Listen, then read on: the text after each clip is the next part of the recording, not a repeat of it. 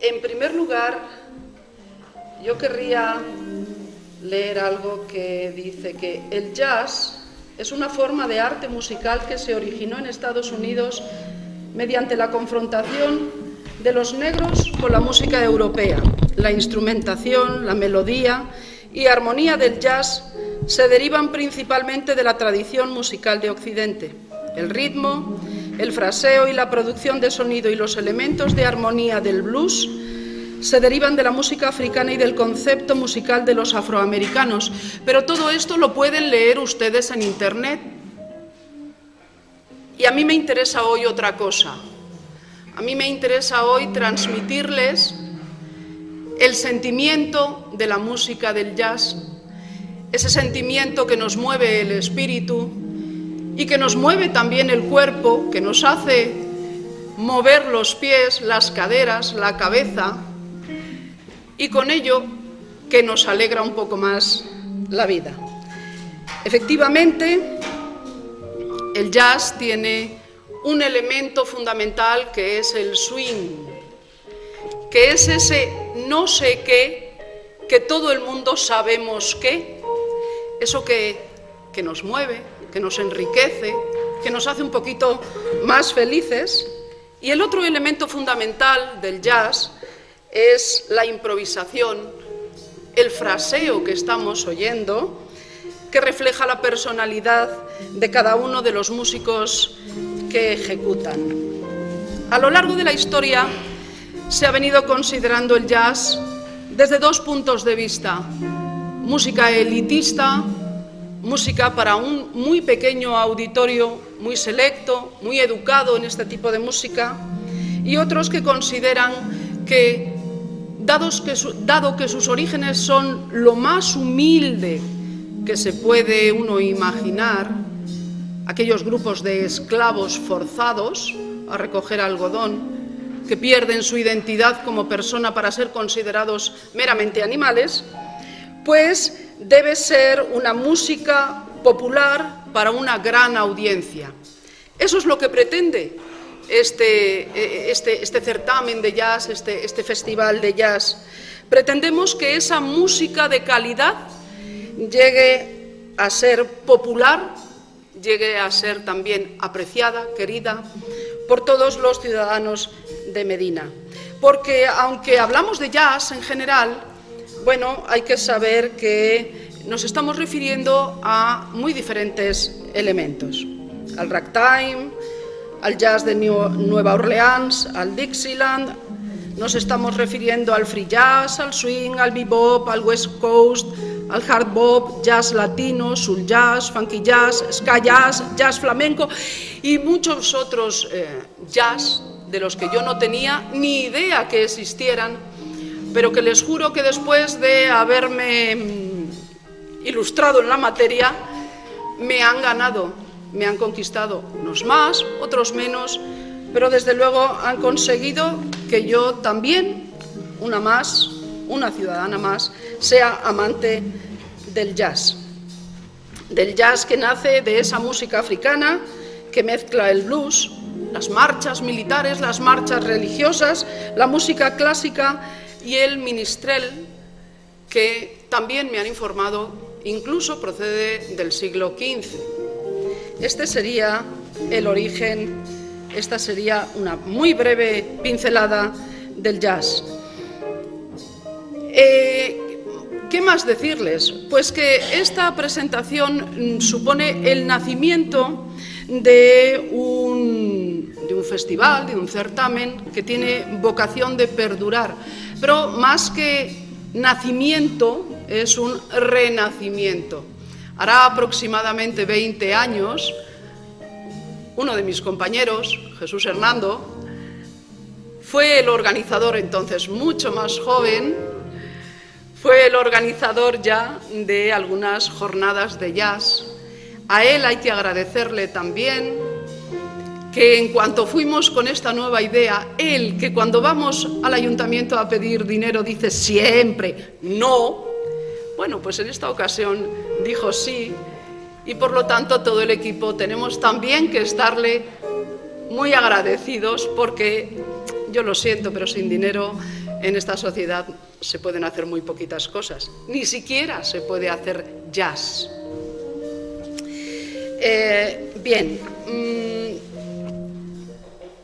quiero también, porque es de justicia, presentar al equipo que ha organizado estas jornadas, que ha organizado todas estas actividades. Y, en primer lugar, quiero decirles que al saxo alto nos encontramos a Alejandro Herrador, al saxo tenor a don Manuel del Río. En este momento no está el saxo tenor, está al piano, pero ya estará el saxo tenor también. A la percusión, a la batería, Alberto Arranz, al bajo, Pedro Domínguez Milara, a la guitarra, Luis María González, y en la mesa nos acompaña como un asesor eh, sabio, experto, Emiliano Allende, a quien también agradecemos desde luego su dedicación. Quiero dar las gracias también, en primer lugar, al ayuntamiento por esta iniciativa. Todas las iniciativas de cultura son pocas para atraer y para colmar la necesidad del ser humano, del público en general. Medina del Campo puede presumir de tener una oferta cultural muy, muy rica. pocas ciudades la tienen y, lo reconocen, precisamente más cuando uno sale, a mí que me toca salir por, por, estas, por este tipo de actividades mucho, me, me encanta constatar cómo desde fuera de Medina la gente conoce todas estas iniciativas. Esta del jazz en concreto yo creo que era una que es verdad que se inició hace 20 años, yo, yo, lo recuerdo. Luego, bueno, como tantas otras, a veces cuaja, a veces no. Yo creo que esta que nace ahora, bueno, o que, o que, o que sigue la estela de aquella, yo creo que va a cuajar porque además las personas que tengo detrás son personas eh, más expertas que yo en jazz, son músicos además, cosa muy importante. Yo creo que esta primera edición eh, es una edición ya, ya muy potente porque tiene cinco conciertos, tiene concursos, tiene jam sessions, eh, mm, se, le nota en, en, el programa que es, una, que es una propuesta que, como decía Teresa, nace con vocación de crecer y de, y de hacerse fuerte en Medina. Por otra parte, tengo que decir también que Medina tiene muy buena formación musical. La música es un lenguaje muy amplio que se cuela por todos los rincones. El jazz, que es una música a veces, como muy bien ha dicho también Teresa, difícil de, de, integrar, que parece que tiene unos códigos diferentes al de las otras músicas. Sin embargo, curiosamente, eh, acceden a ella y en los orígenes han tenido acceso a ella gente de origen muy popular que desde, las, desde los elementos más primitivos de la música, como son el ritmo, por ejemplo, las percusiones, han sido capaces de integrar toda esa necesidad interna del ser humano y cómo la fusión entre la música negra, los espirituales negros, esa música que muchas veces nacía como complemento para soportar eh, mm, los duros trabajos que, tenía, que tenían los pueblos oprimidos, en este caso, en este caso la, comunidad negra, fueron capaces de sacar adelante una música que tenía como elementos eh, principales algunos, algunas peculiaridades que le, que le oponían a lo que eran las características principales de la música blanca, por decirlo de alguna manera. Bueno, afortunadamente podríamos decir del jazz hoy que la fusión ha sido total, porque al principio eran los negros los que hacían jazz, los blancos se lo tomaron en serio y cambiaron estilos sin, sin entrar ahora en las características de cada uno de ellos y finalmente todo se ha fundido. Es muy interesante hacer esta reflexión, me parece a mí, porque no deja de dejarnos muy claro que la música es un arte integrador Es un arte que nos acerca a cada uno según nuestras necesidades, según nuestros conocimientos y según nuestros gustos, nos acerca absolutamente a todo tipo de personas. Por lo tanto, yo celebro, repito, que doy las gracias al ayuntamiento, Teresa López, Teresa Rebollo, estáis siempre con la cultura. Es muy necesario, sobre todo en los tiempos actuales, en los que abrimos las páginas de los periódicos todos los días y tenemos motivos para estar seriamente preocupados. Eh, doy las gracias al equipo de personas que tengo detrás, porque ellos han sido los que han confeccionado el programa. Yo estoy aquí como una persona de apoyo y les agradezco que me cedan la palabra, pero quiero que reconozcáis todos que los que han hecho el festival son ellos. Muchas gracias.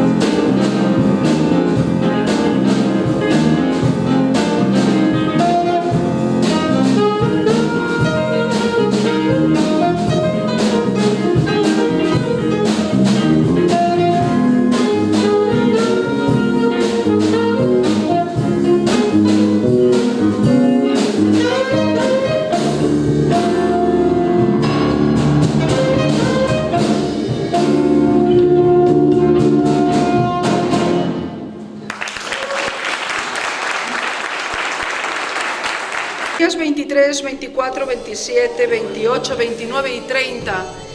Y eh, gracias a don Jesús Díez y, y don Víctor Antón, que van a ser los profesores que lo van a dirigir, tendremos unos eh, talleres de jazz eh, que serán absolutamente gratuitos. También habrá un concurso regional de combos de jazz no profesionales y para poder ver estos combos, pues también podremos asistir gratuitamente a la Plaza de Segovia el día 1, 2 y 3 a las 9 de la mañana, perdón, perdón, a las 9 de la noche, son los nervios que me matan, a las 9 de la noche y eh, a las diez y media podremos también asistir a las audiciones de estos alumnos que hayan participado en, los talleres. Em, los combos que van a participar serán Sillas Ensemble, Jazz Bajo Cero y The Jazz Street. Em, el día 4, el día 5 de julio tendremos eh, dos sesiones de eh, jam, jam session en la Plaza de Segovia a las 10 de la noche. Estarán eh, acompañados, las personas que voluntariamente quieran participar, pues estarán acompañados por Bazar Trío. Y el día 6, 7, 8, 9 y 10 de julio, pues podremos asistir a conciertos de jazz profesional en el Palacio Testamentario a las diez y media. Los grupos que nos ofrecerán su música serán Tomás Merlo and the Free Punk Ensemble el día 6, North Atlantic Jazz Connection el día 7, Jesús Díez Quartet el día 8, Anaúd el día 9 y Víctor Antón Group el día 10. Estos conciertos sí tendrán eh, creo que dije ya que eran en el patio del Palacio Testamentario, ¿verdad? Bueno, pues sí tendrán un precio. El precio es absolutamente testimonial, porque en primer lugar habrá un abono eh, todos estos conciertos podrán oírse por 15 euros a las personas que compren el abono. También habrá unos descuentos importantes para eh, parados, para miembros de escuelas artísticas, de escuelas de música, carnets de estudiantes y para aquellas personas que estén interesadas en un único eh, concierto o en adquirir las entradas de modo individual, el precio será de 4 euros.